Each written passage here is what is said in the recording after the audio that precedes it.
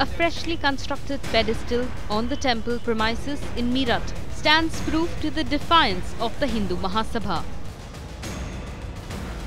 Members of this fringe group laying the foundation stone and resolving to install Nathuram Godse's statue.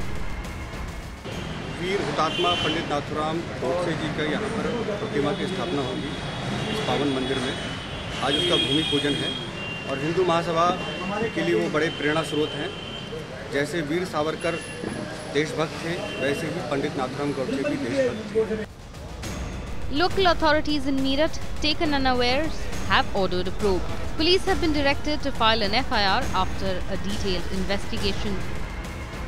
There's also another statue that will come up in white stone to pay tribute to the killer of the Mahatma Gandhi. While the leaders and activists of All India Hindu Mahasabha say that they are doing this inside their premises and nobody can stop them, it is their right. There are several other political parties and also organizations demanding that such activities will not be tolerated. Despite the recent political storm, a fringe group once again challenging the government with its move to honor Mahatma Gandhi's assassin. There are temples being formed, there are statues being laid for Nathuram Godse, but clearly the controversy really not ending there. The Congress and several other political parties and organizations demanding that such activities should immediately be stopped. Reporting from Meerut with video journalist Braj Kishore, this is Aditya Raj Kaul for Times Now.